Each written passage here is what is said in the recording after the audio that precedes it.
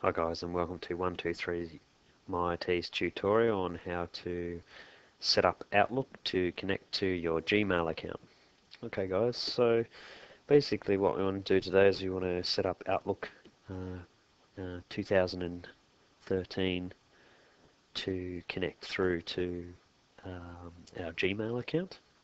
So the first step um, to do that is to make sure that your Gmail account is actually set up to um, to use IMAP or what is called IMAP, and that's that's the type of um, uh, mail setting that we're going to use to connect our Gmail account.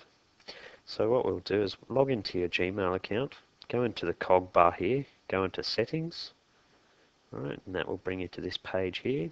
Go to uh, forwarding POP IMAP, right, and make sure that your IMAP is enabled. Okay, that's enabled there, so that's great. And we'll just minimize that. Now if we want to open up Outlook, so go to our Charms menu, go to Search, click on Apps, type in Outlook, pops up, hit Enter.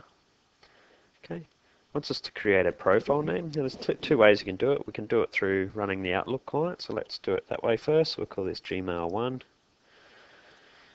Just a profile name. So this is just a name uh, that Outlook recognizes that you can recognize the account for. So I could actually call this anything. It doesn't doesn't really matter. Just the name of the account.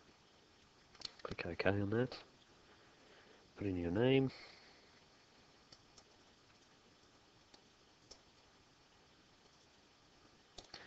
Adams.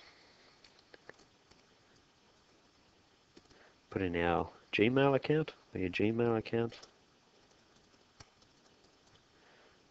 Put in your password.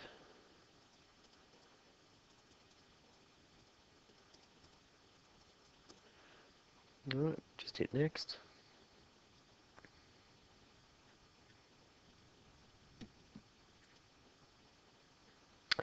Alrighty, and it's that easy and you can actually go add another account and it will bring you back to this screen. We're just going to keep going there.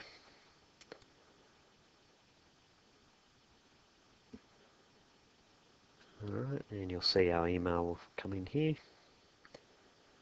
Alright you can see there's our Outlook test messages and you can actually see those are all the emails that we've downloaded there in our other account. Okay so you can actually get it through your Outlook uh, our Outlook window here, and then obviously the idea behind this is you've got a lot more functionality than what you do uh, within the in the web browser.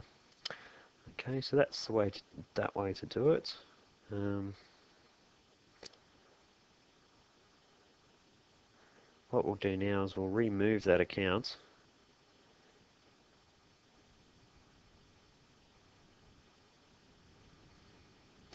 Um, and I'll show you how to remove the account if you bring up your Charms menu again.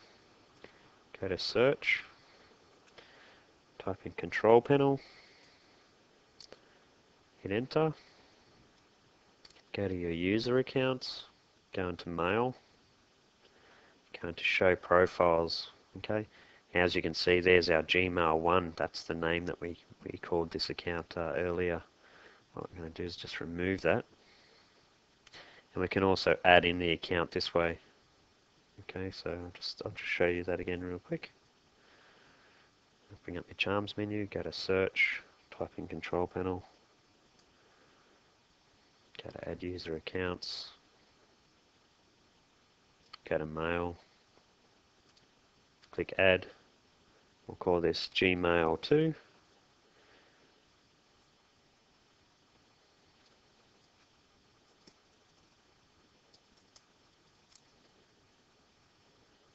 One, two, three. So type in your name.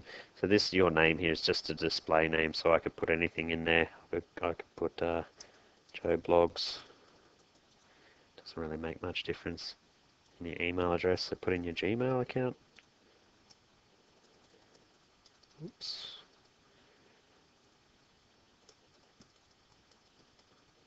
And your password.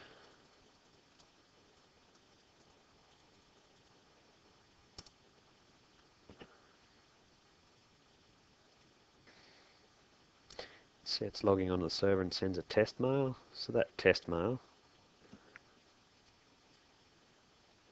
is this, this Outlook test message.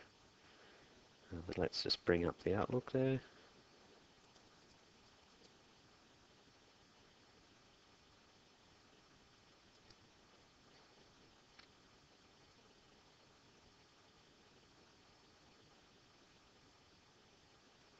Right, so that's how you bring up and that's how you add and You can see there's our new test messages. Each time we log on, send uh, Outlook sends a test message.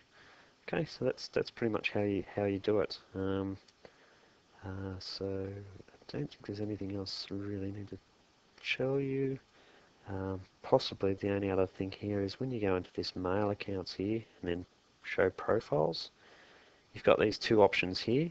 One is prompt for profile to be used and one is always use this profile. So let's just say we had a Yahoo account in here.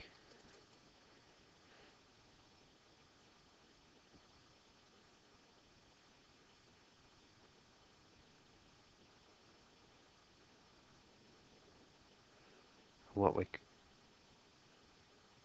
what we could actually do if we got two accounts in here, one's a Yahoo and one's a Gmail account, we could actually press prompt put a dot in here, prompt for profile to be used. And what it will actually do when we close this, we close down the Outlook. Okay, if we go and start up the Outlook again,